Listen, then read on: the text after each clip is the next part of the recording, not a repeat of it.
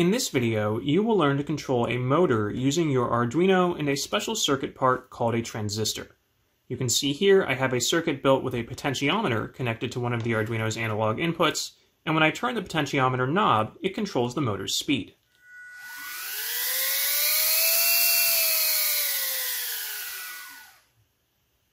Before we get started building the circuit, let's talk a little bit about what a transistor is and why we need one. If you have built Arduino projects before, you have probably used LEDs and connected them directly to the Arduino's digital pins.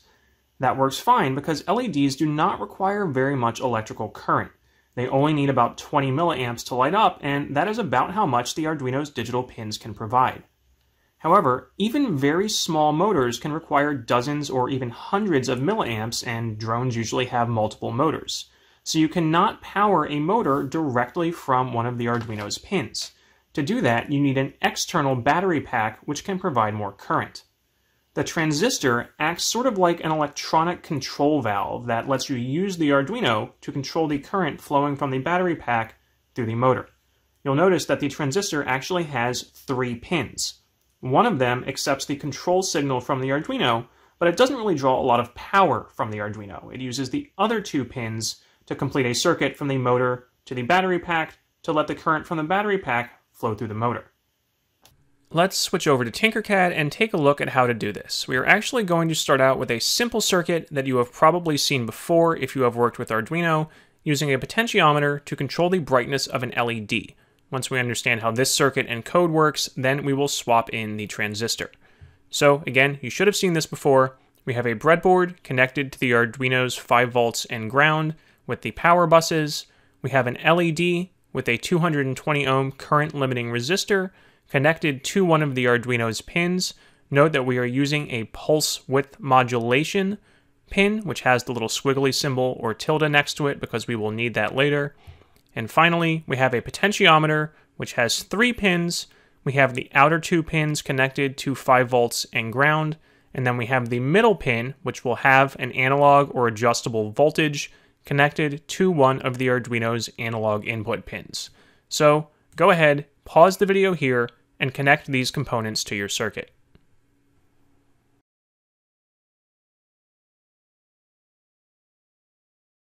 Once you've built the circuit, let's take a look at the code that we will use to control the brightness of the LED with the potentiometer. First, we declare two constant variables for the LED and potentiometer pins, then we declare two additional variables for the potentiometer reading and the pulse width modulation or PWM value that will control the LED brightness. Then in the setup function, we actually don't need to do anything because we don't need to use the pin mode command with the analog read and analog write functions. And then finally, in our loop function, we have three lines of code. First, we use analog read to read the value from the potentiometer this is going to read a value between 0 and 1023. The analog write function that we will use to control the brightness of the LED, however, only accepts a value between 0 and 255. So in between those two lines of code, we use the Arduino map function to convert that potentiometer reading value from the 0 to 1023 range down to the 0 to 255 range. We assign that to a new variable, and then we use that in the analog write function. When we run the simulation, or if you run this code on a physical Arduino, you will see that turning the potentiometer knob controls the brightness of the LED, kind of like a dimmer switch. Note that PWM, or pulse width modulation, is not actually changing the voltage to the LED, it is flicking the LED on and off very, very fast, much faster than the human eye can see, which gives it an effective average voltage. So for example, if I have the knob of the potentiometer right here in the middle, then the LED would be receiving about 2.5 volts on average as the voltage toggles between 0 and 5. If I turn the potentiometer down so the LED brightness is much lower, then that average voltage is closer to 0, if I turn it up, then that average voltage gets closer to 5. Now that we understand how that works, let's take a look at changing this circuit to use a transistor to control a motor.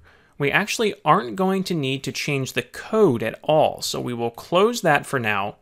I'm going to delete the LED and the resistor from the circuit, and I have three new parts out here that we're going to need to connect. I have my external battery pack. Remember, the motor requires too much current to be driven directly by one of the Arduino pins, which is why we need the transistor to help control the power coming from the battery pack. I have my DC motor, which has two wires, and I have a transistor here. Now, there are many different types of transistors. We are only going to cover one type in this video called an N-channel MOSFET. MOSFET stands for Metal Oxide Semiconductor Field Effect Transistor. We are not going to worry at all about what that means. You just need to know that the N-channel MOSFET has three pins, as you can see here in Tinkercad, labeled G, D, and S. That stands for gate, drain, and source. So get these three parts out in your Tinkercad model, and I will show you how to connect them. The first thing I'm going to do is put my MOSFET in the breadboard, make sure the three pins go in three different rows of the breadboard. You should remember how a breadboard works at this point, but if they are all in the same row like this, then those pins are being short-circuited together. So make sure your pins go in three different rows. Next, I'm going to connect the gate pin. That is the control pin that's going to accept the signal from the Arduino. So I'm going to route my jumper wire that I had previously been used previously used to control the LED over to my gate pin. Next, I'm going to connect the source pin to my ground bus. So I'm just going to run a jumper wire over here from the source pin to ground and make sure if you're using ground buses on opposite sides of the breadboard that you connect them with a jumper wire because they are not connected internally. Next up, I'm going to connect my motor I'm going to connect the motor's positive wire to the power bus over here, which will you, you will notice is not connected to anything yet. I'm saving that for last with connecting the battery pack. And I'm going to connect the motor's negative wire to the drain pin of the MOSFET. So nothing is going to happen yet because I haven't connected my external battery, but in general, when working with an external battery pack, you want to save that for last, double check all of your wiring, and make sure you don't have any short circuits before you connect it. So I'm going to connect the negative wire of my battery to the ground bus. It is important for your entire circuit to have a common ground, meaning the negative wire from the battery is connected through the buses to the Arduino's ground pin. But you need to remember not to short circuit the positive voltage from the battery to 5 volts from the Arduino. So finally, I am going to connect the positive wire from my battery to the power bus on this side, but remember I have isolated the two power buses. They are not connected by a jumper wire, unlike the ground buses which are connected by a jumper wire.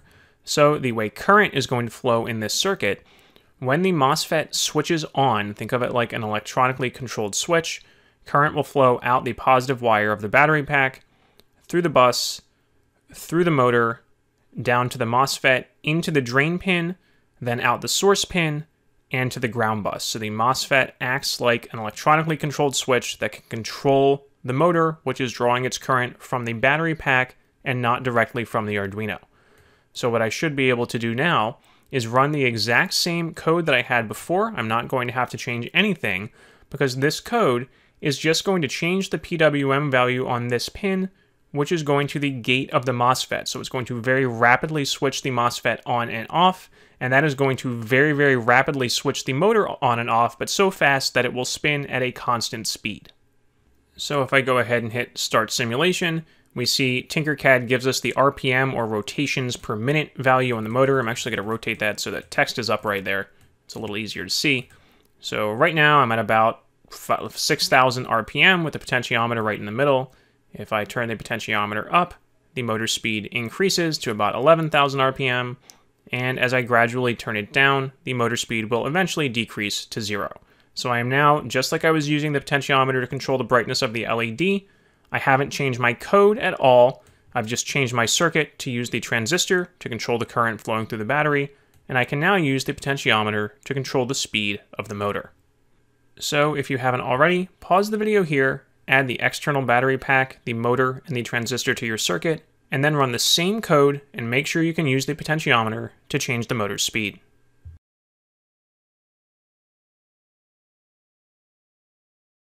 Now, this shows you how to connect a single motor with a single transistor. You can control multiple motors, and how you do that depends on whether you always want your motors to spin at the same speed or if you want independent control of them.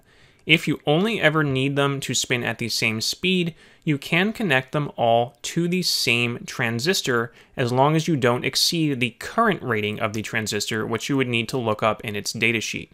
So, pause the video here and see if you can figure this one out on your own.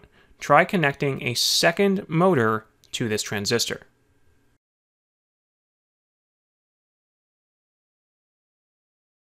In case you couldn't figure it out, I will show you how to do that. First, I'm going to clean up my wiring a bit for this first motor.